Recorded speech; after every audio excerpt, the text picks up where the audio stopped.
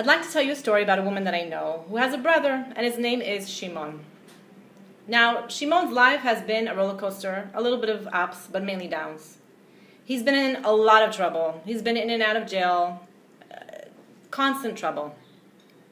And whenever his parents or his sister, siblings don't hear about Shimon, they panic, they worry, like, where is Shimon?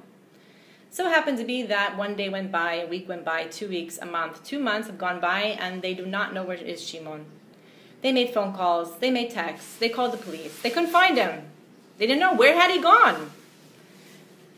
Was this another one of Shimon's dramas, or was something really serious? They were really getting worried, and then finally, two days ago, they get a text from Shimon. Okay, there was a sign of relief. He's alive. Baruch Hashem, thank God.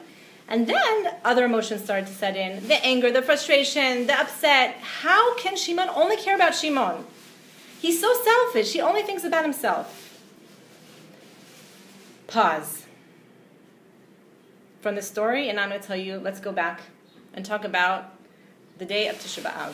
What happened on Tisha B'Av, the first Tisha B'Av that there was? The 12 spies came back after 40 days of looking and spying and seeing Eretz Israel.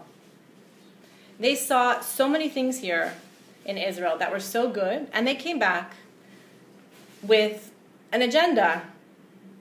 They started to speak about the land. They started to panic. They started to say that, you know, there's, there, there are giants that live there. And the people kept hearing this report. And it says in the Gemara Masechet Sotah that when the spies, 10 spies said that we can't go up. We can't go against them. They're bigger, mimenu. They're bigger than us. The actual, the people hurt me. May mimeno. They're bigger. These people are more giants. They're bigger even than God.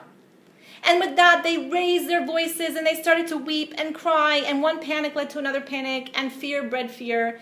And this was the day of Tisha B'Av. This is the day that's decreed that Hashem said, "Okay, you want to cry? I'm going to give you something to cry about."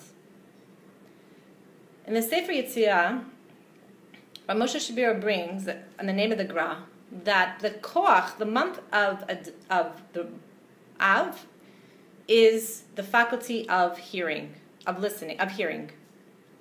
And he brings there that the first time we see this about hearing was in that incident with the spies. That the people were hearing, we can't go, we can't get into this land it's going to be too scary. It's going to be too difficult. There's no way that we can do this. Why? Because they're even bigger than God. This is what they were hearing. It was not what was being said necessarily, but this is what they were hearing.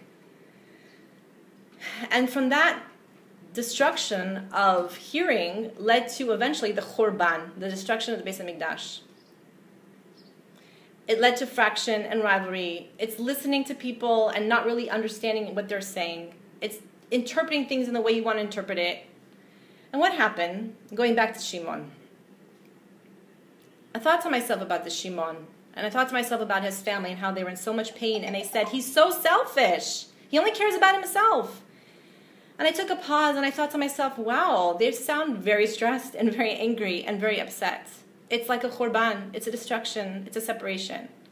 And I thought to myself, would it be possible just to take a pause and to ask oneself, is this the absolute truth that he's selfish, that he only cares about himself? Do I know this? Could I possibly know this? No. And if it's not the absolute truth, is there a way to turn this around? Because the thoughts that he only cares about himself, that he's so selfish, what is this doing? It's causing so much stress, so much anxiety. It's not, it's causing destruction. Is there a way to take the khurban and make it into a chibur, make it into a connection? And if we take this and we turn it around and we say, it's not that Shimon doesn't care about anybody. Shimon doesn't care about himself. Because a person who cares about themselves cares about others. A person who has enough sense of self cares about his family. And the moment we start to think, wow, I'm not listening it in that way, I'm going to listen it in a different way. I'm going to really hear what's going on in a reality that doesn't cause me stress and anger and resentment, and in a reality that doesn't break me apart, but in a reality that actually connects me. Wow, so much more peaceful and calm. This is the month of Chodesh Av. It's the month of Shmiya, of listening, of hearing. It's the month when we can take the koach of listening and hearing and really listening well and seeing what is really going on in this other person. And I'd like to tell you one more story and end it with this. That the other day I had a very difficult, I had a, actually a good morning and then a very difficult afternoon. And I took three of my children, we went to the supermarket. And I was in this mood and this thoughts and thinking about things and listening to myself in this negative way. I had a bottle of olive oil and I dropped it on the floor. Glass everywhere, oil.